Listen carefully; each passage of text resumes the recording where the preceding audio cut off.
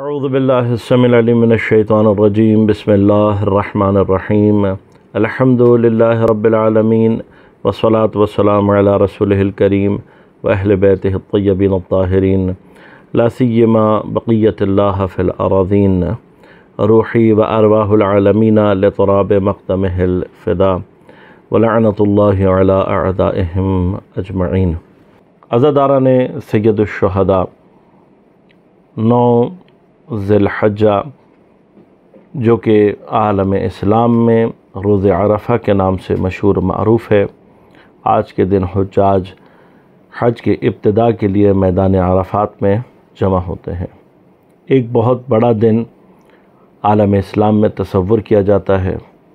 آج کے دن کی فضیلت اور اہمیت سے تقریباً ہر مسلمان واقف ہے۔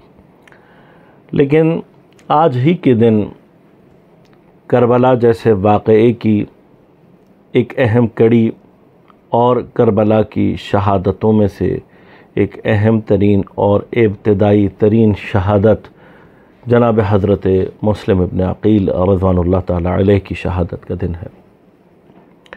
اور آپ کی شہادت آج کے دن آپ کے چاہنے والے، سید الشہداء کے چاہنے والے، اسلام سے محبت کرنے والے اور ظالموں سے نفرت کرنے والے افراد کے دلوں میں ایک خاص جوش اور جذبے کی کیفیت کو ایجاد کرتے ہیں۔ حضرت مسلم بن اپنے عقیل اور رضوان اللہ تعالیٰ علیہ ان بزرگوار افراد میں سے ہیں کہ اپنے تمام تر فضائل ایک طرف، جس نے غیر معصوم ہوتے ہوئے اپنے آپ کو اس مقام پر پہنچایا کہ امام حسین علیہ السلام نے اپنی کربلا کی تحریک اور نہضت میں حضرت مسلم ابن عقیل کو اپنا سفیر، اپنا نمائندہ، اپنا باوسوق شخص اور بھائی کہہ کر آپ نے آپ کو کوفے کی طرف روانہ کیا۔ حضرت مسلم ابن عقیل اور رضوان اللہ تعالیٰ علیہ کا کوفے کے اندر رہ کر سید الشہداء کے لیے بیعت کا طلب کرنا، کوفے کے شیعوں کے درمیان اتحاد کی فضا کو ایجاد کرنا، اور جتنی بھی سیاسی سرگرمیاں حضرت مسلم ابن عقیل اور رضوان اللہ تعالیٰ علیہ نے انجام دیں، ان سے معلوم ہوتا ہے تاریخ میں کہ آپ خاندان عصمت و طہارت سے جو رابطہ رکھتے تھے، وہ صرف ایک نسلی اور حسبی رابطہ نہیں تھا بلکہ آپ کا رابطہ علمی اور بصیرت کا رابطہ بھی تھا اپنے چچا اور اپنے سسر، کیونکہ بعض روایات کے مطابق حضرت امیر المؤمنین علی ابن ابو طالب علیہ السلام نے آپ کی شادی اپنی بیٹی رقیہ بنت علی رضوان اللہ تعالی علیہ سے آپ کا نکاح اور ازدواج کیا تھا۔ لہذا اس اعتبار سے حضرت مسلم ابن عقیل حضرت علی ابن ابی طالب علیہ السلام کے دامادوں میں سے بھی ہیں۔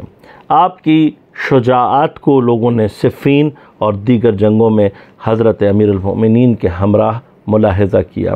آپ کی شجاعت کے بارے میں تاریخ دانوں نے بہت سارے فضائل آپ کے نقل کیے ہیں اور اولاد حضرت ابو طالب علیہ السلام میں جو افراد نہ صرف شجاعت میں بلکہ شباہت میں حضرت پیغمبر اکرم صلی اللہ علیہ وآلہ وسلم سے مشابہ ہونے کے اعتبار سے جن افراد کا ذکر کیا گیا، ان میں سے ایک جناب مسلم ابن عقیل۔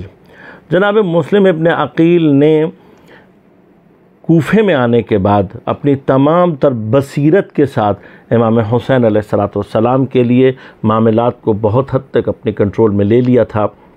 جس وقت یزید نے عبید اللہ ابن زیاد نامی اپنے سب سے شاطر اور چلاک شخص کو کوفہ کا گورنر مقرر کیا۔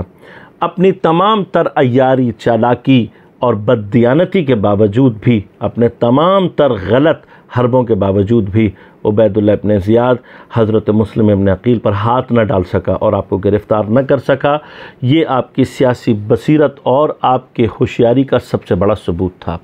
لیکن کچھ ایسے سیاسی مسائل اور بعض شیعوں کی بے بصیرتی کا نتیجہ یہ نکلا کہ حضرت مسلم ابن عقیل کا امام حسین علیہ السلام کی حمایت میں تیار کردہ لشکر اور آپ کا جو اقدام تھا عملی، وہ ناکامی کا شکار ہوا اور آپ نویں ذی الحج کو نہایتی مظلومیت کے ساتھ شہید کر دیے گئے۔ گرچہ آپ نے اپنے دفاع کے لیے ایک بڑی طویل جنگ لڑی اور پھر بہت زخمی ہو کر ایک جھوٹے وعدے کے تحت آپ کو گرفتار کیا گیا اور پھر دھوکے کے ذریعے سے اور غلط الزامات لگا کر حضرت مسلم ابن عقیل کو دارالخلافہ کی چھت پر سے لے جا کر زمین پر پھینکا گیا۔ اور یہ پہلا مظلوم ہے جس کے جنازے کے ساتھ گرچہ اس کا تعلق ذریت پیغمبر سے تھا، اس کے جنازے کے ساتھ بے حرمتی کی گئی۔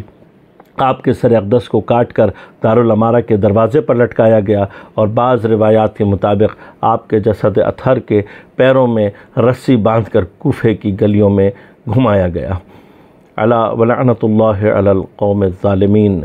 ان للہ و انا الیہ راجعون۔